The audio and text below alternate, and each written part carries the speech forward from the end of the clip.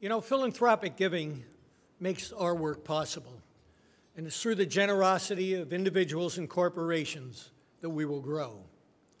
Supporting Easter Seals makes good business sense. But we also know that once you become involved with Easter Seals, it becomes very personal. Richard, Richard Swirnow is a visionary. He's a successful real estate developer and community leader in Baltimore. He was a driving force behind the renewal of many of Baltimore's old neighborhoods, someone whose love of the city helped to revitalize it. Years ago, he offered to host Easter Seals Cruise for Kids at his marina in Baltimore. And every year since, Harborview has hosted the event for thousands of boaters, volunteers, donors, and kids with disabilities and their families. Every year for one day, Easter Seals Cruise for Kids consumes the entire Harborview Marina, all donated by Richard Swirnow. He describes it as a day of fun, sun, and boating for kids with disabilities and their families. And he knows that this is a day the kids and their families will never forget. Richard says he remembers a day when a child spoke his name for the first time while he was out on the bay, and it moved him. And now he invites his business associates, his friends, and community leaders to be part of this cruise. He says his goal is to share the experience. He wants them to see the faces of the children as they enjoy the day and meet their parents. And he wants his friends and associates to become advocates for these families and also become donors to Easter seals. Richard will tell you, and I quote, it's all about the kids. But his vision extends to people with disabilities of all ages. After he saw Easter Seals Adult Daycare Center in Western Maryland, which I've had the opportunity to visit, he led the effort to open a center in Baltimore in 1998. And he made introductions to his friends in government to help secure funding for Easter Seal's new intergenerational center in Silver Springs, which we all had the privilege of seeing the video yesterday uh, at lunch. Richard Swirnow says he was intrigued with care that includes both the young and the old, and he envisioned a place where both could come together. He fostered a relationship between Johns Hopkins University and Easter Seals, gave a personal gift of $500,000 to fund the Center for Excellence in Training along with his wife, Ray. His goal is to train other care providers in intergenerational programming.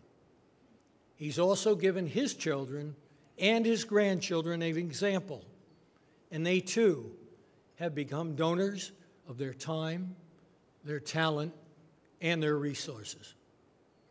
Easter Seals honors Richard Swirnow for his personal philanthropy, gifts of more than $1.1 million, and for his passion for improving the lives of people with disabilities. We have a glimpse of Richard Swirnow in this year's Cruise for Kids in photos that Gene Manning took and sent last summer. Let's take a look at some of these photos.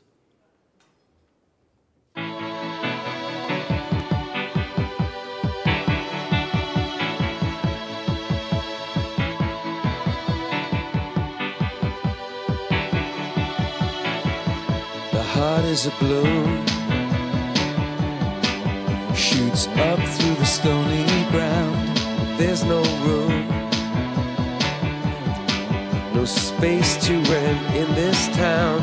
You're out of luck. And the reason that you had to care The traffic is stuck. And you're not moving anywhere. You thought you found a friend To take you out of this place. Someone you could lend a hand return for grace. A beautiful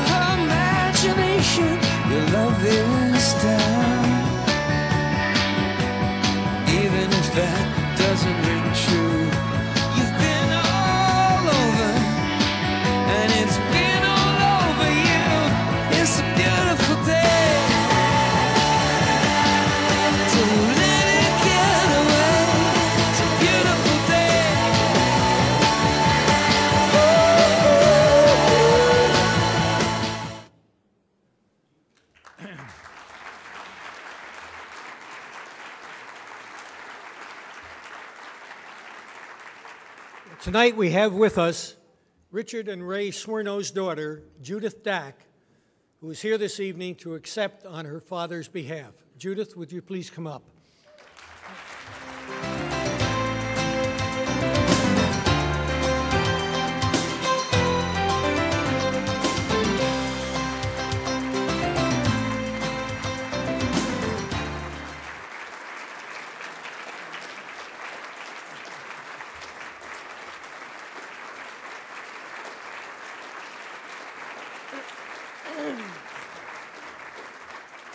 Thank you, thank you. Um, on behalf of my father and my mother, who are cruising the Mediterranean right now, and they say that they're so sorry that they can't be here. But my father is deeply, deeply touched to be honored in this way. And so am I. I just want to tell you that I'm, I'm very proud, and I was very moved to watch that film. But I, what I want you to know is that person like my father needs the opportunity to be an ally to someone who needs him because he needs you just as well. And he's become an incredible ally to people with disabilities. It is his favorite passion, his number one charity, and it's, his life is about Easter seals, Johns Hopkins University, and Harborview, his community. And so, Cruise for Kids and the things that he does, it gives him an opportunity to merge all of his passions and to be to be a better person and to be the man, to become the man that he has become. Um, and this story that you shared about the day that um, Cruise for Kids, when this little boy spoke his name for the first time, and my father was there, and that moment cracked my father's heart open and made this hardcore, successful businessman into a human being with a big heart. And so, for that, I'm very grateful because it also turned this man into a better father as well. and he has taught me so much from watching his transformation, you know, because there's a lot of skill, there are, are many skills that one needs in order to merge all of these things and to be so successful at it. And he inspires me greatly, and so do all of you. And so, thank you very much for this honor.